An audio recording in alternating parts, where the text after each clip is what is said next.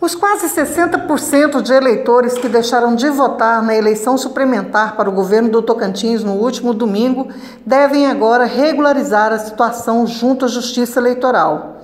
No primeiro turno foram 306 mil eleitores e no segundo, 355 mil.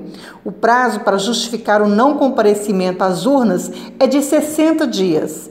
Para se regularizar, o eleitor deve procurar o cartório eleitoral e preencher um requerimento de justificativa. Também é possível baixar o formulário pela internet e enviar pelo correio para o juiz eleitoral da zona em que é cadastrado. O eleitor deve ficar atento, pois a não justificativa poderá ser penalizada com multa para cada turno que deixou de votar. O não comparecimento em três eleições consecutivas e sem justificativa leva também ao cancelamento automático do título.